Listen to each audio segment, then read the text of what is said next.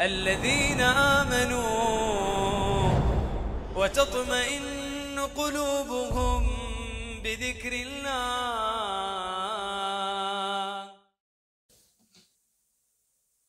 muhtaram jamoat bugun al ujub manmanlik haqidagi bobiga yetib keldik muallif bu bobini ostida ham oldingilari kabi shu mavzuga taalluqli bo'lgan asarlarni keltiradilar. Avvalo suhbatimizni boshida ujub nima yaxshiroq tushunaylik. Endi manmanlik deb e, tarjima qilib qo'ya qoldik. Buni o'zbek tiliga tarjima qilganda lekin endi bu kengroq ma'no ujub degan so'z. Inson o'zi bilan muajjab bo'lishligi degani o'zidagi alloh taolo bergan bir ne'mat xislat boshqalarda bo'lmagan. Ana o'sha bilan o'ziga baland baho berishligi. Shuni oqibatida boshqalardan o'zini baland bir pog'ona baland tutishligi shu ujub deb aytiladi. Manmanlik haqida gapirganimizda eshitib turgan somiy mana sizlar ham darhol xayolingizga zehniyatingizga boy odamni manmansirashligi mansabdorni manmansirashligi kekkayishligini tasavvur qilamiz. Suhbat shu haqida bo'lsa kerak. Domla manmanlik haqida gapiryapti deb hayolimizga zehniyatimizga darhol shu narsa keladi. Chunki odatda o'rganganmiz boy badavlat insonlarni ba'zilari endi hammasi ham emas yoki mansabdor insonlarni ba'zilari boobro' insonlarni ba'zilari o'zlarida manmansirashlik kekkayishlikni ko'rganmizda va bu shuni xalqni ichida bu narsa yomon olinadi odamlarni ichida va darhol manmanlik deganda hayolatimizga zehniyotimizga kelgan narsa shu. To'g'ri bu ham manmansirashlikni va shariatimizda mazammat qilingan bir turi lekin suhbatimiz bu haqida emas. Manmansirashlikni boshqa bir toifaga nisbatan manmansirashlik haqida. Ilm din egalarini ilmi bilan dini bilan ibodati bilan manmansirashlik haqida. Ikkalasini taroziga qo'yiladigan bo'lsa bir taroziga ilmni tushunmagan dinni tushunmagan bir boy ilmni dinni tushunmagan ibodatdan yiroq bo'lgan bir mansabdorni manmansirashligini bir taroziga qo'yib tarozini ikkinchi pallasiga ilmli diyonatli ibodatdagi insonni ibodati bilan dini bilan manmansirashligini tarozini ikkinchi pallasiga qo'yiladigan bo'lsa qaysi biri yomonroq? Albatta ikkinchisi yomonroq.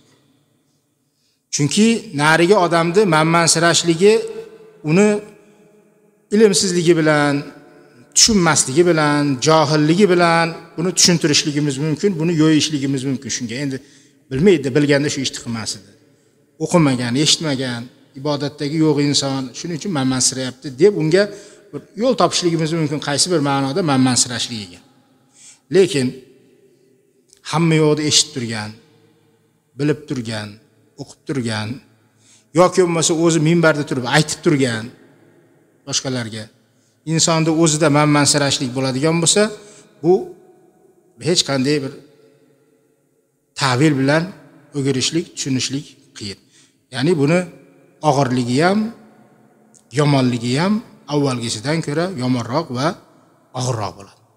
Xo'p, bizni suhbatimiz shu haqida muallifni keltirayotgan asarlari shunga dalolat qiladi. Endi birinchisini qo'yib turing endi u aytdik u narsani bir dinsiz ilmsiz odamni manmansirashligini uni bir chekkaga qo'ying.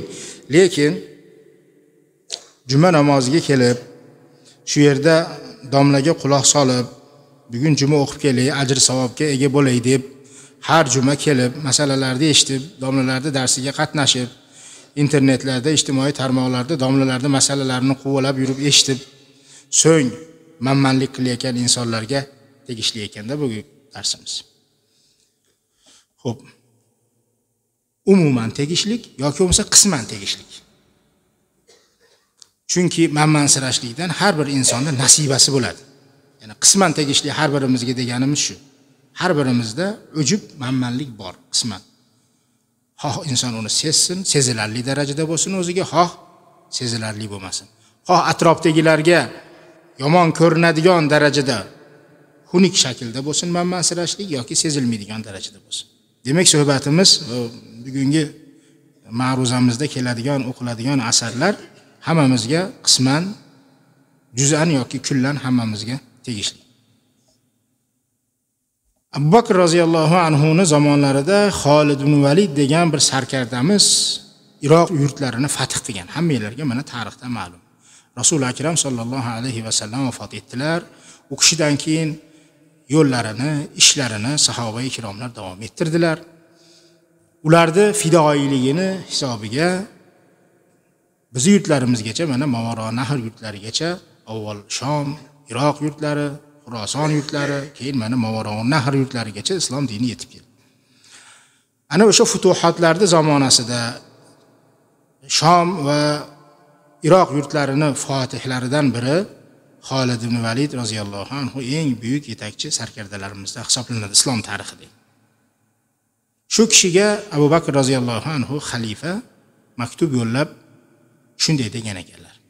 Liyahnika aba sulayman anniya wal khadwa فأتمم يتمم الله لك ولا يدخلنك عجب فتخسر وتخذل وإياك أن تدل بعمل فإن الله له المن وهو ولي الجزاء ey abu sulaymon ya'ni kunyalari xolid ibn validda abu sulaymon bo'lgan ekan ey abu sulaymon niyatni to'g'rilang niyatni to'g'rilang buni mukammal qiling alloh taolo sizga qo'lingizda ishlarni mukammal qilib beradi ya'ni futuhatlarni to'liqlab beradi. Niyatingiz xolis bo'lsa to'g'ri bo'lsa futuhatlar mukammal bo'ladi. Boshqa yerlarni ham oxirigacha fath qilasiz. Aslo sizga qalbingizga ujub kirmasin manmansirashlik kirib qolmasin yutkizib qo'yasiz. Fatuhzal yordamsiz qolasiz. Ya'ni alloh taolo sizga o'sha va'da qilingan nusratni bermay qo'yadi. Hozir siz iymoningiz niyatingizni xolisligi bilan och yalang'och yalang'oyoq ozgina saloqli musulmonlar bilan menman degan o'sha zamonasini kuchli armiyasi bo'lgan fors rum armiyalarini yengyapsiz agarda qalbingizga ujub kiradigan bo'lsa manmansirashlik kiradigan bo'lsa shu qilayotgan amallaringiz bilan o'zingizga bir baho berib berishni boshlaydigan bo'lsangiz alloh taoloni yordamidan nusratidan mosuvo qolasiz. Aslo qilgan amalingizni allohga minnat qila ko'rmang. Allohga pesh qila ko'rmang. Chunki alloh taolo minnat qilguvchi zotdir. Zero u o'sha yaxshilikka muvaffaq qilgan tavfiq bergan zot u. Uni mukofotini ham beradigan zot o'zi. Aziz birodarlar hech kim o'zini tili bilan alloh taologa qilgan amalini minnat qilmaydi. Endi xolidin validdek zot tili bilan alloh taologa qilgan amalini minnat qilishlikdan yiroq zot. Biroq inson qalbidagi tuyg'ular bilan va tashqariga chiqayotgan boshqalarga bo'lgan muomalasida o'zini qilgan amalini minnat qilib qo'yar ekan. Ya'ni lisonul maqol bilan emas lisonul hol bilan ifoda qilib qo'yar ekan minnatni tilida aytmaydi lekin holati shuni bayon qilib turar ekanda. Abu bakr roziyallohu anhudek bu zotni so'zlaridan olingan ma'nolardan yana biri inson modomiki ixlosli bo'larkan ujubdan yiroq bo'lishligi va ujub esa ixlosga zid narsa ekanligini tushunamiz. Chunki ujubdan saqlaning dedilar ixlosni niyatni to'g'ri qiling dedilar. Shuningdek bu kishini so'zlaridagi foydalardan yana biri alloh taoloni nusrati yordami kelib turgan bo'lsa bir insonga yoki bir qavmga bir jamoatga ulardagi ixlos va niyatni to'g'riligidan bo'lar ekan. Agarda bir qavmda bir jamoatda shaxsda ujub manmanlik bo'ladigan bo'lsa o'zidagi ilm bilan o'zidagi ibodat bilan alloh taoloni nusrati yordamidan mosuvo bo'lar ekan. Umar ibn hattob roziyallohu anhuni ikkinchi xalifamizni zamonasida bo'layotgan voqea. Umar ibn hattob roziyallohu anhu xursand bo'lishlikka shoshilmadilar. Chopardan so'radilar dushman bilan qachon yo'liqdinglar chopar aytdiki erta tongda dushman bilan yo'liqdik jang maydonida mardu maydon boshlandi dedi. Qachon g'olib bo'ldinglar kun kechikkanda kun qorayganda ularni axiri mag'lub etdik yengdik ey amirul mo'minin dedi chopar. G'alabani olib keldi xushxabar. Umar ibn hattob aytgan ekanlarki erta tongdan kechgacha kufr iymonni barobarida bas kelib tura oldimi? Sizlarda gunoh bor dedilar. Qalblaringizga gunoh aralashgan. Bo'lmasa erta tongdan kechqurungacha kufr iymonga bas kelib turolmaydi jang maydonida degan ekanlar. Ularni dunyoqarashini qarang u insonlarni bahosini qarang. Demak alloh subhanahu va taologa bo'lgan iymon ko'p narsani hal qilar ekanda ana o'sha iymon yaxshi solih niyatni ziddida bunga putur yetkazadigan alloh taoloni nazaridan tushirib qo'yadigan nusratidan mosuvo etadigan ishlarni bittasi o'sha dindor insonni ichida o'jibdi bo'lishlik qalbga manmansirashlikni kirib qolishlik. Endi o'sha o'sha chopar kelganda g'alaba qozongan askarlar bu sahobalar edi tobiinlar edi. Ularni ichida endi gunoh bor deganda benamozi yo'q edi ularni ichida aroq ichib qo'yadigani yo'q edi ularni ichida. Harom harish kasb qilib sudxo'rlik qiladigani yo'q edi ularni ichida gunoh qiladigan. Umar ibn hattob shu yerda sizlarda gunoh bor deganda nimani nazarda tutdilar? Qalblarga ujub aralashganligi ya'ni ketma ket g'alabalar g'alabalar. Endi g'alaba bo'lganda ham fors rum askarlarini ustidan ketma ket zafar g'alabalar fath bo'layotgan qal'alar shaharlar madinaga karvonlarda kelayotgan o'ljalar bularni hammasi endi biz shunday insonlar ekanmiz alloh taolo biz tomonda ekan deb alloh taolo bizni yaxshi ko'rganidan suyganidan g'alabani beryapti degan ma'noda qalblarga nima? Ujub aralashib qolganligini nazarda tutgandilar bu kishi. Anas ibn molik roziyallohu anhu aytadilar meni abu muso al ashariy roziyallohu anhu umar ibn xattobni xalifani oldiga jo'natdilar. Bu kishi abu musoni umar ibn hattob bir yerga voliy qilib hokim qilib tayinlaganlar. Hokim bo'lib turgan abu muso anas ibn molikni xalifani oldiga jo'natdilar. Bir ish bilan yumush bilan jo'natdilar. Shunda umar ibn hattob aytdilarki abu musoni qay holatda tashlab keldingiz? Anas ibn molik aytdilar taraktuhu yuallimun nasal qur'an. Odamlarga qur'on o'rgatayotgan holda tashlab keldim dedilar. Ya'ni u kishini holatini aytib berdilar. Endi abu muso hokim voliy boshida boshqa tashvishlari ham ko'p. Shundan oshinib odamlarga ta'lim qur'on dars berayotganligiga ishora qildilar bu kishi. Shunda umar ibn hattob aytdilarki ama innahu kayis ziyrak odamda dedilar. Abu muso ziyrak odam. Ya'ni dunyoni deb oxiratni esdan chiqarmaydi dunyo ishlarini deb qur'onidan qur'onini beparvo qoldirmaydi dedilar. Pul topaman deb qur'on qolib ketmaydi ish qilaman deb dars qolib ketmaydi. Ha bu kishi ziyrak insonda dedilar. Bo'lmasa u kishini ishlari endi musulmonlarni manfaatidagi ish. Musulmonlarni ustida hokim bu kishi. Shu ishi ham o'zi ibodat u kishini. Lekin shundoq bo'lsada o'zini shaxsiy hayoti va o'zini shaxsiy shaxsi uchun kerak bo'lgan qur'oni ta'limidan voz kechmaganligida aytdilarki bu odam ziyrak odamda dedilar. Vala tusmiaha lekin bu gapimni u kishiga aytib qo'ymang shu so'z kerak biz darsimizga shuning uchun keltiryaptilar. Oxirgi shu so'z uchun. Nima uchun? Ya'ni mansirab ketmasin. Men haqimda amirul mo'minin shunday shirin so'zlarda aytdilar yaxshi baho beribdilar deb manmansirab ketmasin. Umar ibn hattob aytdilarki u kishi haqida meni bu iliq fikrimni aslo abu musoni o'ziga ayta ko'rmang dedilar. Manmansirab ketmasin dedilar. Hop asarni bizga suhbatimizga taalluqli yeri foydasi.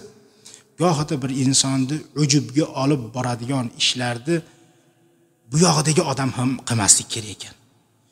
Ujubga borib ketadigan insonga o'sha ujubga olib boradigan so'zni aytmasligimiz kerak ekan. Gohida betiga jam maqtab kerak ekan. Uni ilmi bilan boshqasi bilan. Ichimizda yaxshi bir ilmni chekkan bo'lsa ha deb maqtavermasligimiz kerak ekan uni. O'zini yuziga ham eshittirib ham. To'g'ri endi yo'q paytda o'zaro yaxshi fikr bildirishlikdan birovni madh etishligimizdan yo'qligida bir monelik yo'q.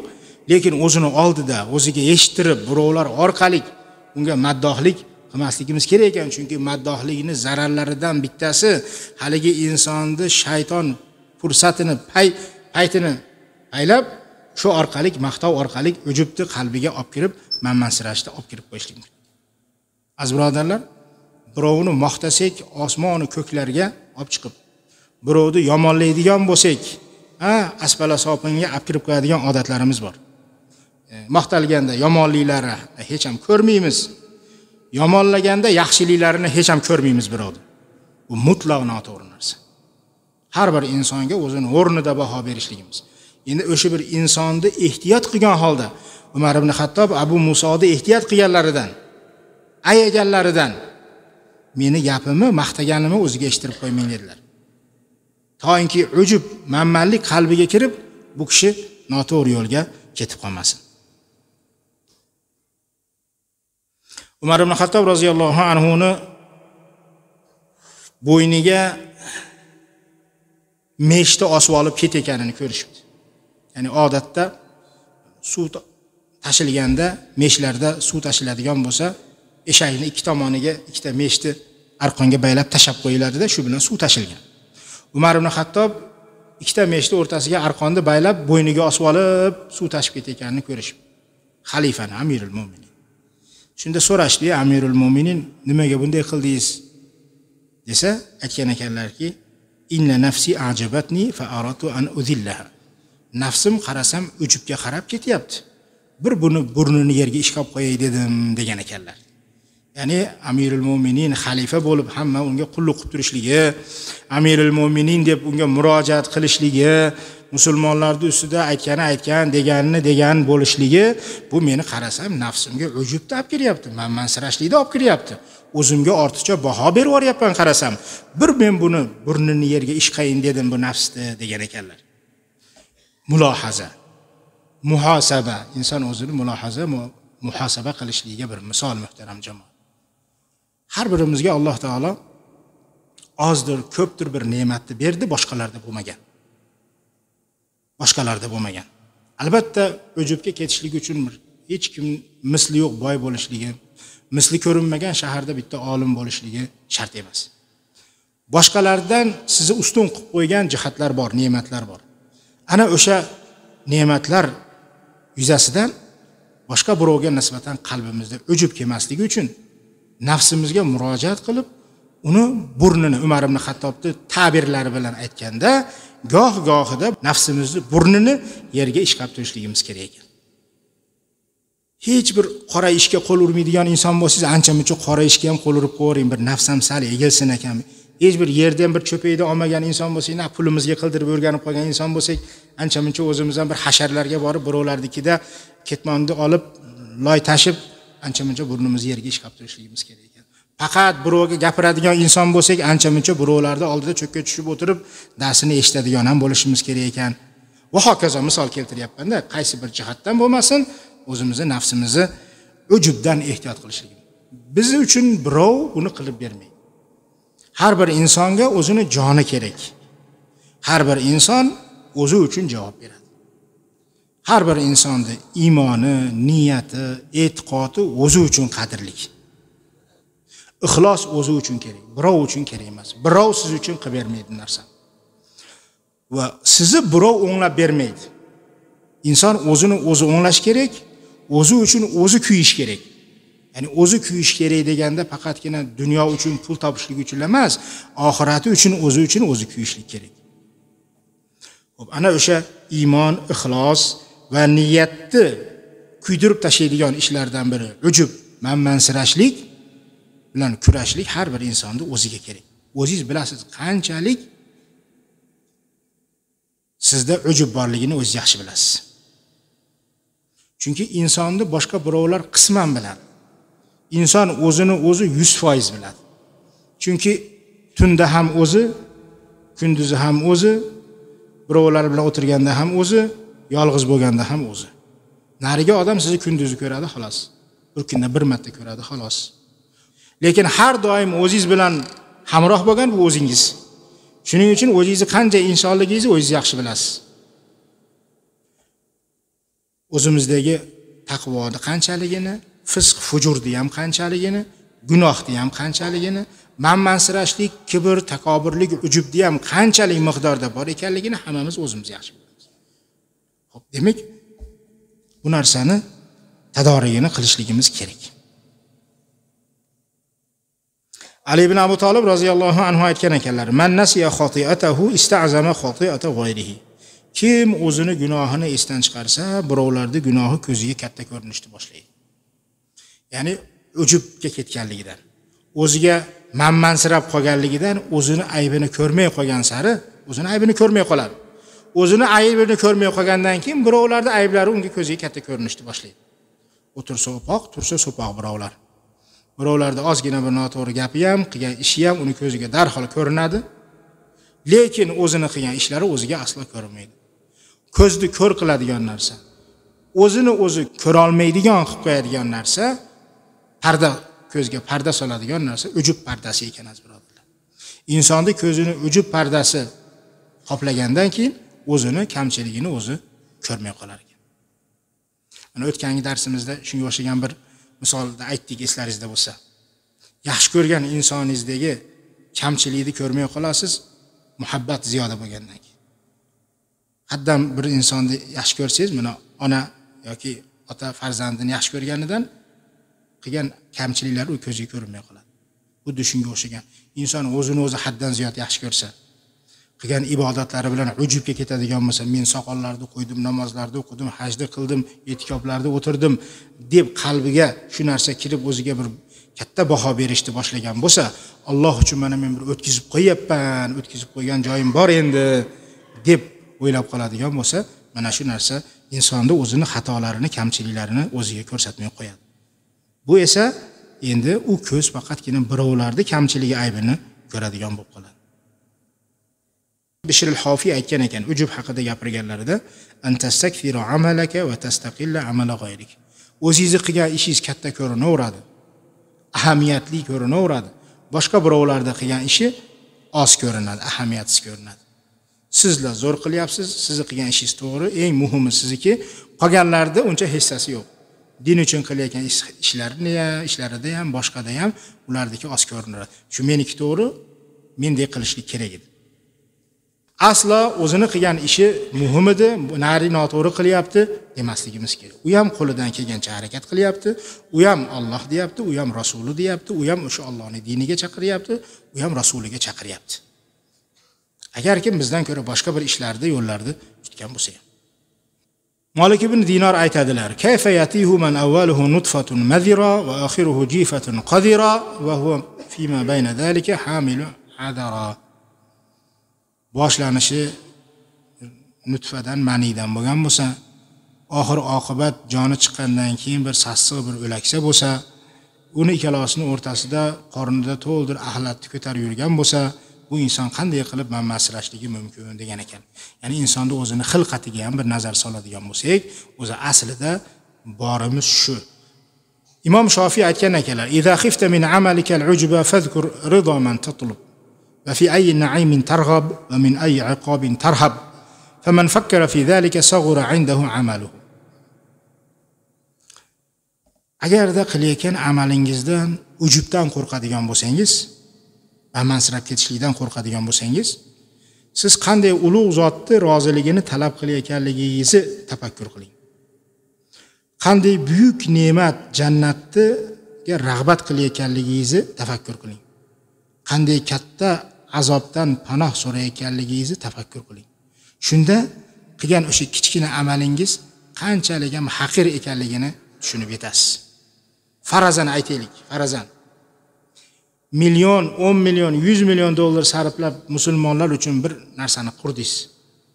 Endi u odamni qalbida ashuncha ujub bo'ladi. Mana hech kim qilmagan ishni qildim. Minglab yuz minglab odamlar foydalanadi shundan. Necha yillar yuz yillarga yetadigan bir ish bo'ldi deydi.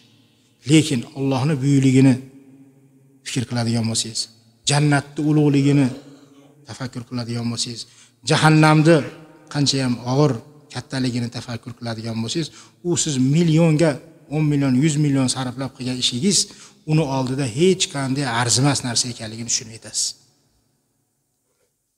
Ho'p endi haligi bir yuz millionlar haqida gapirdik. Ozib yozib onda sonda o'qib qo'ygan namozimiz tunda yoki bo'lmasa ozgina bir ilm o'qib bir domlaga bir ikki yil qatnab qo'ygan bo'lsak bu aslo bizni ujubga olib bormasligi kerak imom qurtubiy aytadilar إعجاب المرء بنفسه وملاحظته لها بعين الكمال ma'an nisyani ni'matillah kishini o'zi bilan muajjab bo'lib ketishligi bu o'ziga alloh taoloni ne'matlarini unutgan holda kamolot ko'zi bilan qarab olishligi mana shu ujub degan ekan o'zi aslida sizni shunday qilib qo'ygan o'zi olloh edi Namoz o'qishlikka peshonangizni sajdaga tegishlikka muvaffaq qilib qo'ygan olloh edi. Buni hammasini unidada xuddi shunga o'zi erishib olgandek hidoyatga o'zi sazovor ediyu o'zi topolganidek o'ziga kamolot ko'zi bilan qarashlikni boshlaydi. Hali suhbatimizni boshidagi va'daga muvofiq kelyapmiz. Pul dunyo haqida gapirmayapmiz chunki suhbatimiz ular haqida emas dedik. Ularni bir chekkaga surdik ularni endi ularni ham tadbiq qiladigan bo'lsak shu so'zimizga xuddi o'sha dunyoni o'zi topib olganidek xuddi shu lavozimga o'zi erishib olganidek o'ziga o'zi manmanlikka ketadi. Lekin suhbatimiz bular haqida emas bular bir chekkaga surdik. Biz o'zimiz haqida gapiryapmiz. Namozxonlar haqida domlalar haqida ilm o'rganayotgan tolib ilmlaru mullolar haqida gapiryapmiz. Ya'ni o'zimiz manmansirab ujubga ketmasligimiz haqida gapiryapmiz.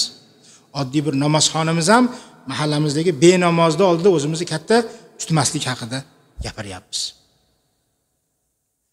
aziz birodarlar endi e'tiboringlarni ozgina besh o'n daqiqa yana olib turaman xafa bo'lmaysizlar.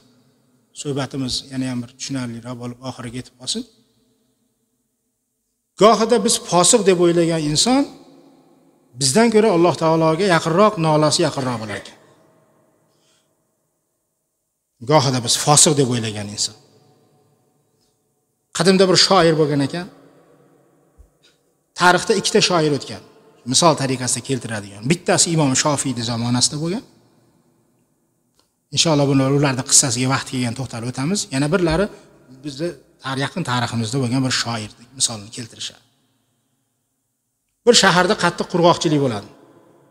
Qurg'oqchilik bo'lganda hamma issiqo namoziga chiqadi. Shunda haligi shoir endi faqat g'azal o'ldim kuydim bilan kuylaydigan shoir u ham chiqib ketsa domlalar sen chiqmagin deyishgan ekan. Muhaysin ekanda. Muhaysin sen chiqmanglar qo'ygin degan ekan. O'zi shundoq ham o'zi qahatchilik. Endi sen ham chiqib olmagin o'sha yerga. Misol ollohdan qo'rqqan bir taqvodorlar chiqsinchi shular duosi ijobat bo'lsa ajabmas degan. U odam chiqmay qoladi. O'sha qishloqda qolib qolgan tentaklar aqldan ozganlar hayzli ayollar uzrli ayollar qatorida bu odam ham qolib qoladi ajratib qo'yishadi. Chiqaladi istisqodi qilinadi bir marta ikki marta uch marta oylar o'tadi osmondan bir tomchi yomg'ir yog'maydi. Hamma yo'q quriyapti hayvonlar o'lyapti nobud bo'lyapti hech ham iloji yo'q. Shunda haligi odam shunday o'kingan ekanki ichidan men endi shunday bo'ldimmi endi shu majnun qatori uzrli hayz ko'rgan ayol qatori bo'ldimmi endi men deb allohga tavbasiga tayangan ekan bu inson.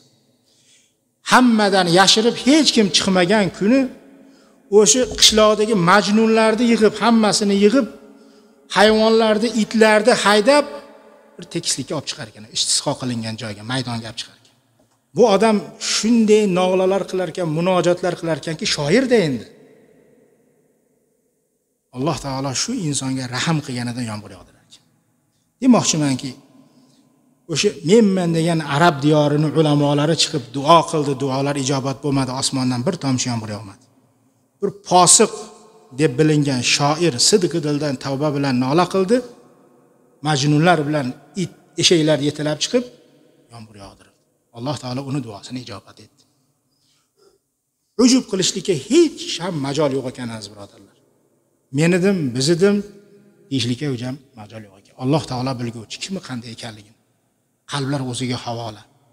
Siz zo'r inson deb bilgan inson o'zi aslida bir posiq bo'lishligi mumkin. Tashqarisidan turishinglar suratinglar taqvo lekin alloh taoloni oldida mana shuncha qadriga ega bo'lmasligi mumkin u inson. Lekin shunday insonlar bor. Birovni birovni nazar pisand qilmaydi. Alloh taoloni nazdida katta qadriga ega bo'lishligi mumkin. Shularni o'ylaydigan bo'lsak shu tarozi bilan shu o'lchov bilan shu ko'z bilan qaraydigan bo'lsak inshaalloh qilayotgan shu ozgina arzimas amallarimiz ujubga ketib qolmaslikka bizlarga sabab bo'ladi inshaalloh. Va sallallohu vasallam ala nabiyina muhammad va ala alihi va sahbihi ajmain.